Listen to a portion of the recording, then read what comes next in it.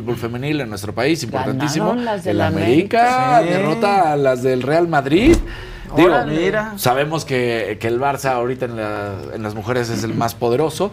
El Real Madrid había hecho bien las cosas contra las Amazonas de Tigres, pero pues ayer el América bien se impone al Real Madrid 3 a 2 aquí en la capital con 19.820 espectadores, lo Oh, cual no es menor, es muy bueno.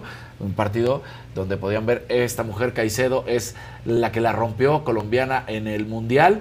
Ahora que se celebró en Nueva Zelanda y Australia, y aquí, bueno, pues eh, ella es parte del equipo blanco. Entonces, bien por eso que sucedió. Qué bien. Sí, sí, sí, ¿qué tal?